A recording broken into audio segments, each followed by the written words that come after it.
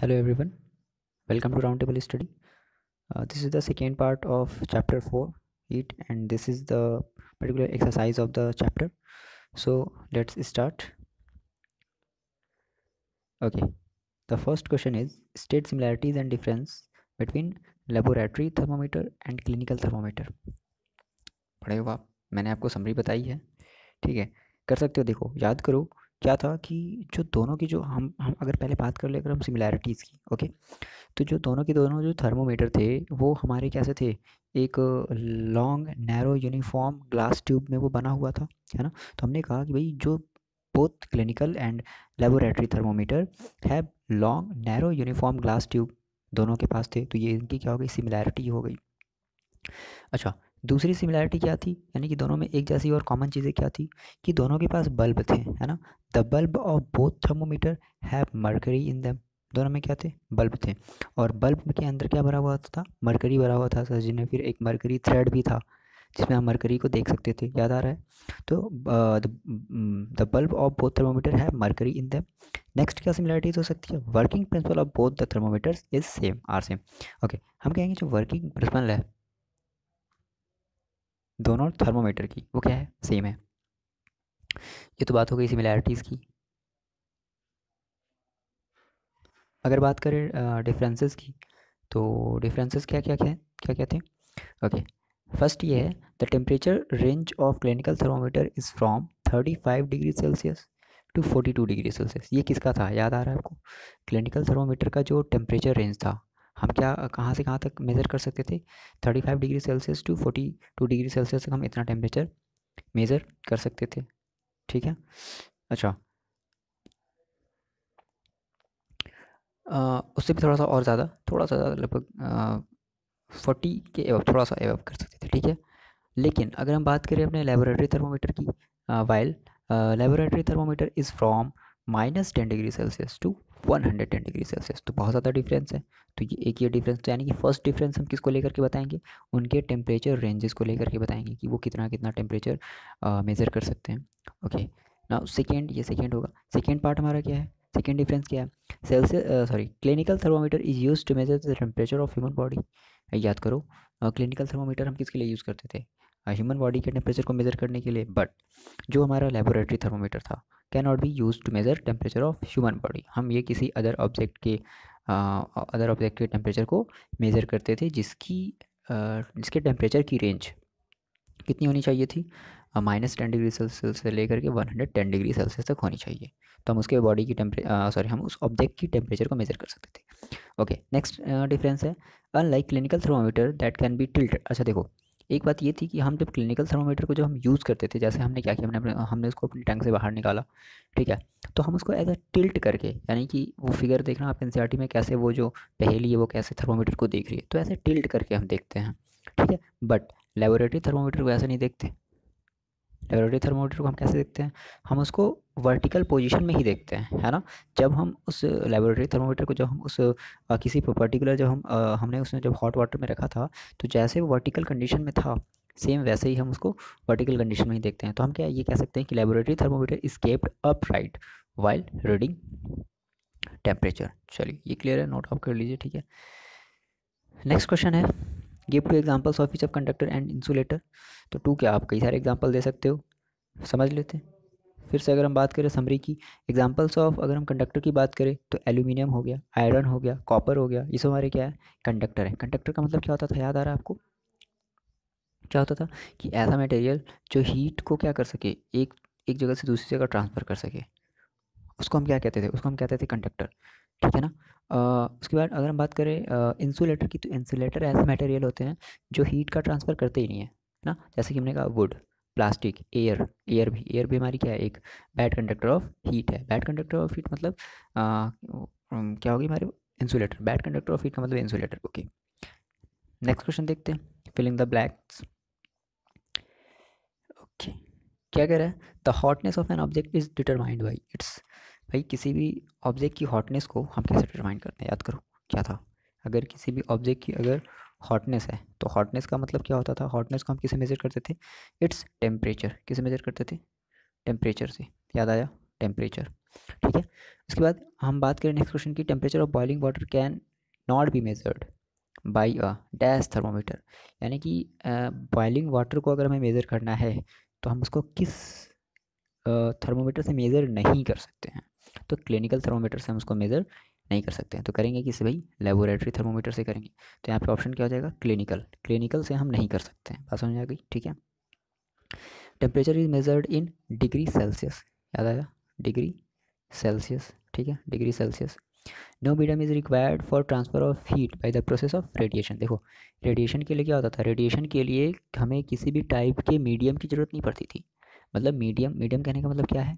Medium कहने का मतलब कि जहाँ पे ना कोई एयर हो ना कोई वाटर हो ना? तो ऐसे प्लेस को हम मीडियम कहते हैं। जैसे कि स्पेस स्पेस हमारा एक अच्छा एग्जांपल है सॉरी मीडियम का वैक्यूम का ठीक है? वैक्यूम।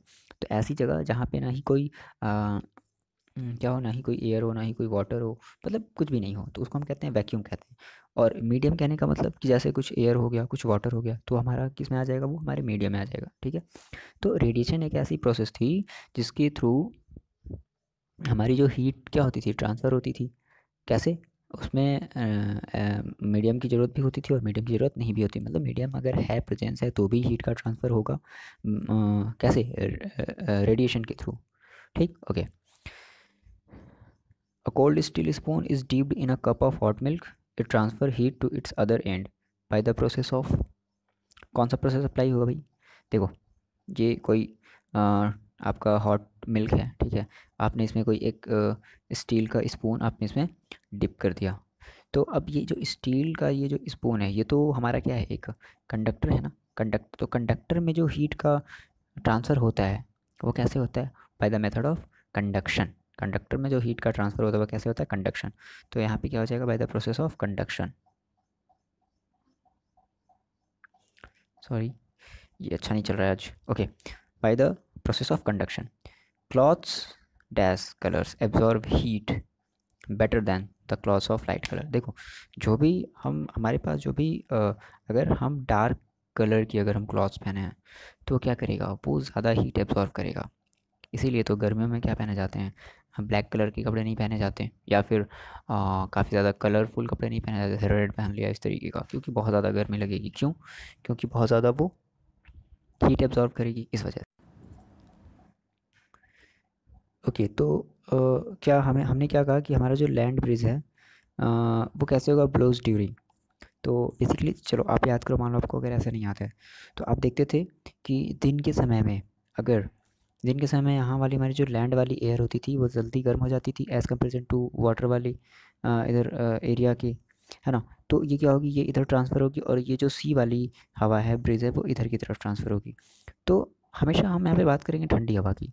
तो जो ठंडी हवा ये लैंड की तरफ़ चल रही है, यानी कि सी से ब्रिज सी से लैंड की तरफ़ चल रही है तो हम उसको कहते हैं थे सी ब्रिज यानी कि सी ब्रिज कब होता था? दिन के समय। याद आया?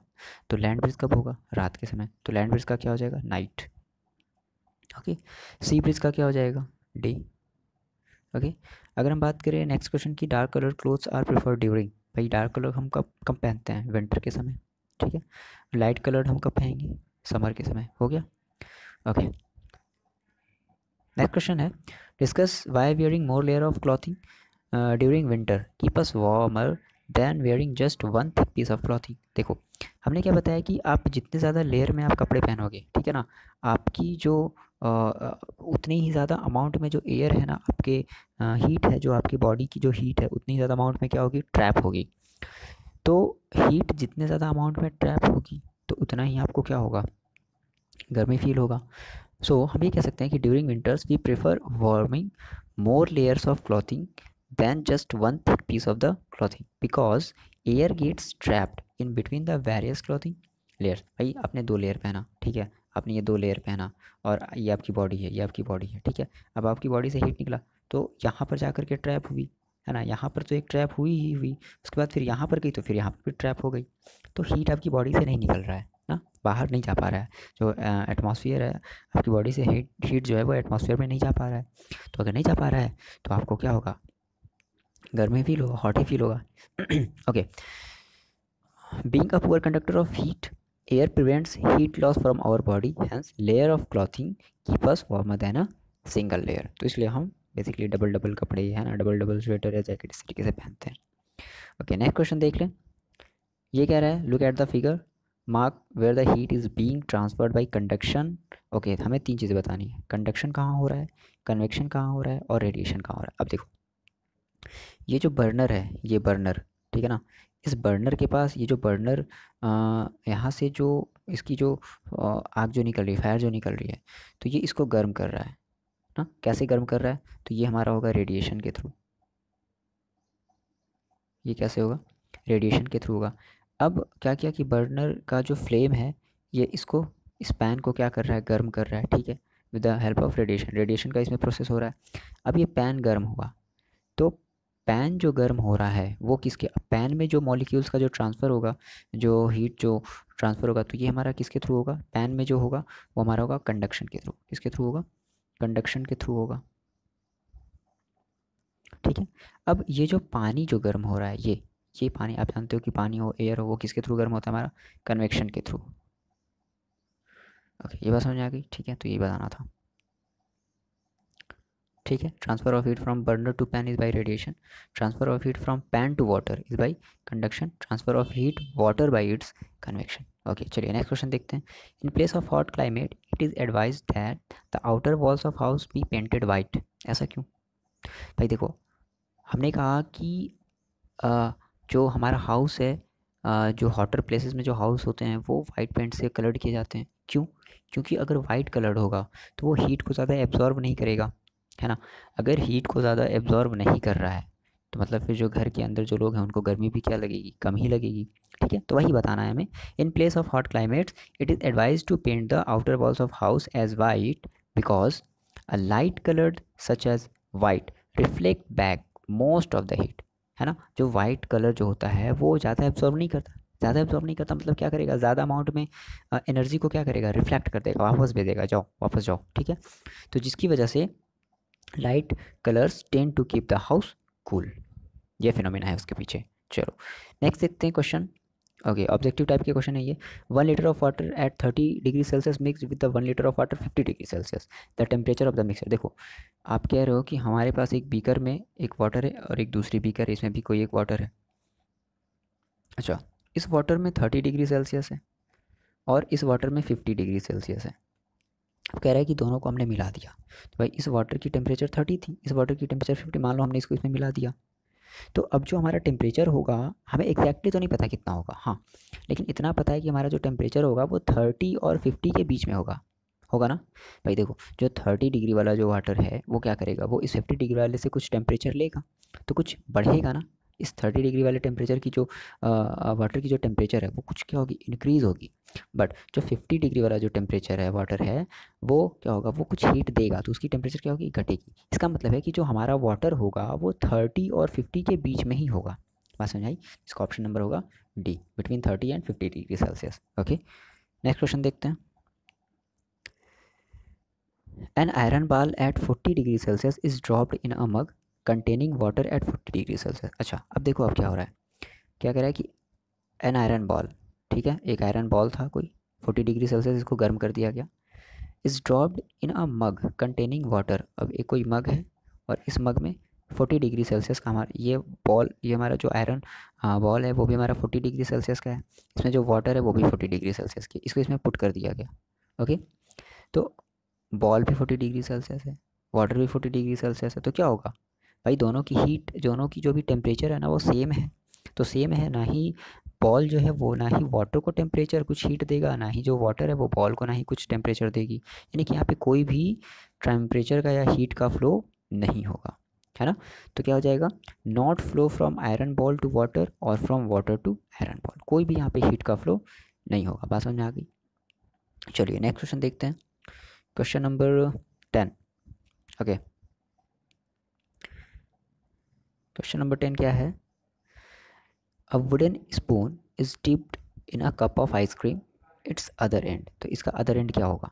देखो अगर हम बात करें आ, हमने क्या किया कि एक वुडन स्पून कोई एक लकड़ी की चम्मच है ठीक है? अब हम उसको क्या कर रहे हैं? हम उसको आ, किसी आ, क्या कर रहे हैं? आ, कप में डुबा रहे हैं ठीक है? ये और ये हमारी जो स्पून है वो कैसी है? लकड़ी की है वुड की है। तो भाई अगर वुड है तो वुड हमें पता है ना वुड हमारा क्या है? बैड कंडक्टर ऑफ़ हीट यानी कि वो इंसुलेटर है। तो इंसुलेटर में कोई भी हीट का ट्रांसफ़र टेम्परेचर का ट्रांसफ़र नहीं होता है है ना? तो इस वजह से क्या होगा? अच्छा ऑप्शन क्या क्या देख लेते हैं? Becomes cold by process of conduction नहीं कंडक्शन तो होगा ही नहीं। कंडक्शन भी नहीं होगा। Became cold by the process ये भी नहीं होगा। बिकेम कोल्ड बाई ये भी नहीं होगा। डज नॉट बिकेम कोल्ड कुछ नहीं होगा। ठीक है तो ऑप्शन नंबर हो जाएगा डी ओके नेक्स्ट क्वेश्चन है stainless steel pans are usually provided with copper bottoms the reason for this could be that क्या हो सकता है? भाई देखो स्टेनलेस स्टील हमारी कोई एक पैन है, इसके नीचे कुछ कॉपर के ऐसे कुछ वो लगा दिए जाते हैं तो ऐसा क्यों? भाई जो कॉपर है, वो क्या है? कॉपर जो है, वो ज़्यादा हीट का ट्रांसफ़र करेगा, ठीक है? तो क्या हो जाएगा? यानी कि कॉपर किस लिए लगाया गया ताकि वो जल्दी से गर्म हो सके, है ना? तो क्या हो जाएगा? पहला ऑप्शन दिया है कि copper bottoms make the pan more durable more durable नहीं, ऐसी कोई बात नहीं है, ये गलत हो गया। सच पैंस अपियर कलरफुल नहीं, ऐसी भी कोई बात नहीं है। Copper is better conductor of heat than the stainless steel ये सही होगा ओके नेक्स्ट क्वेश्चन देख लेते हैं S I unit of the S I unit of heat भाई हीट आप चैप्टर पढ़ रहे हो और आपकी हीट की यूनिट ही आपको नहीं पता। तो जो हीट की जो आई यूनिट होती है होती है जूल। याद रख लेना है आपको हीट की जो आई यूनिट होती है वो होती है जूल। ओके? बात समझ में आ गई? चलिए। अच्छा कुछ और सब बेसिक कुछ इंपॉर्टेंट से कुछ टॉपिक देख लेते हैं। जैसे आ, हमारे पास एक ये टॉपिक है ठीक है? कि how to convert degree Celsius to Fahrenheit मतलब डिग्री सेल्सियस को हम फॉरेन हाइट में कैसे कन्वर्ट करेंगे? हमें ये बताना है। तो इसका एक फॉर्मूला होता है मतलब कि आपको डिग्री सेल्सियस पता है और उस आपको डिग्री सेल्सियस को आपको फॉरन हाइट में चेंज करना है। तो Fahrenheit is equal to क्या हो जाएगा? Nine upon five degree Celsius plus thirty two ये आपको फॉर्मूला याद रखना है। अगर कन्वर्जन आता है तो आपको ये फॉर्मूला अप्लाई करना पड़ेगा। ओके सर नेक्स्ट देख लेते हैं। अब ये तो हमने देख लिया कि डिग्री सेल्सियस को फॉरन हाइट में कैसे कन्वर्ट करेंगे। ये देख लेते हैं कि अब फॉरन हाइट को डिग्री सेल्सियस में कैसे कन्वर्ट करना है। तो इसका एक और फॉर्मूला होता है। Degree Celsius is equal to five upon nine फिर दूसरे ब्रैकेट में ये दूसरे ब्रैकेट में मल्टीप्लाई में रहेगा। Fahrenheit minus thirty two ठीक है? जान रहे हैं आप लोग अभी सेवन्थ क्लास में हो ठीक है ना? ज़्यादा बट हम्म, ये आपको ब्रैकेट करके सॉल्व करना है बट आप तो वो बोर्ड मास का रूल तो जानते ही हो ठीक है? चलिए पहले इस वाले ब्रैकेट को सॉल्व करेंगे फिर इस वाले ब्रैकेट को सॉल्व करेंगे ओके तो एक क्वेश्चन देख लेते हैं इसके बेसिस पे। ओके ये कह रहा है convert 25 degree Celsius to Fahrenheit यानी कि हमें क्या करना है? हमें डिग्री सेल्सियस को फॉरन हाइट में चेंज करना है। तो हमने फॉर्मूला अप्लाई किया। क्या? F is equal to nine upon five degree Celsius plus thirty two okay हमें गिवन क्या है? ये गिवन है यानी कि डिग्री सेल्सियस इक्वल टू कितना गिवन है? ट्वेंटी फाइव ये तो गिवन है।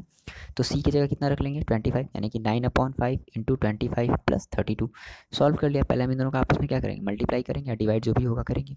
फाइव फाइव जा ये कट गया कितना गया? फाइव फाइव नाइन जा forty five forty nine plus thirty two यानी कि सेवेंटी सेवन ये हमारा आ जाएगा seventy seven Fahrenheit so हम लिख सकते हैं आ, आ, कितना? तो हमने क्या दिया? भाई twenty five degree Celsius is equal to seventy seven Fahrenheit ये बात समझ में आएगी ये आपका हो गया आंसर ओके नेक्स्ट क्वेश्चन देखते हैं। ये कह रहा है कन्वर्ट 86 डिग्री से 86 degree Fahrenheit to degree Celsius अब भाई फॉरन हाइट को हमें डिग्री सेल्सियस में चेंज करना है। अब दिया क्या? फॉरन हाइट दे दिया। तो फॉरन हाइट अब डिग्री सेल्सियस का फॉर्मूला अप्लाई करेंगे। Five upon nine F minus thirty two okay तो रख देते हैं Fahrenheit is equal to कितना दिया है? एट्टी सिक्स दिया ना? तो जहाँ भी फॉरन हाइट है, वहाँ पे हमें कितना रख देना है? एट्टी सिक्स रख देना है। तो five upon nine eighty six minus thirty two eighty six minus thirty two को सब ट्रैक कर लो, कितना बचेगा? फिफ्टी फोर यानी कि nine upon five upon nine into fifty four और ये हो जाएगा आपका फाइव इंटू सिक्स यानी कि थर्टी यानी कि eighty six Fahrenheit eighty six degree Fahrenheit is equal to thirty degree Celsius okay ये क्लियर है? चलिए, अब आप लोग कुछ खुद से कर लीजिए। अच्छा एक बात आपको ये याद रखना है, ये याद रखना है कि zero degree Celsius is equal to कितना होता है? Thirty two degree Fahrenheit होता है। है ना? इसका मतलब हमारा डिग्री सेल्सियस क्या है? फॉरन हाइट से बड़ा है। ठीक है? चलो, आप ये कन्वर्ट कर लो। कन्वर्ट वीडियो पॉज करके आप इसको कन्वर्ट कर सकते हो, ठीक है? ओके तो यहीं पर ये आपका जो एक्सरसाइज है ना, वो आपका हो गया ख़त्म। ओके मिलते हैं नेक्स्ट वीडियो में और नेक्स्ट चैप्टर के साथ। तब तक के लिए बाय बाय और पढ़ाई करते रहें।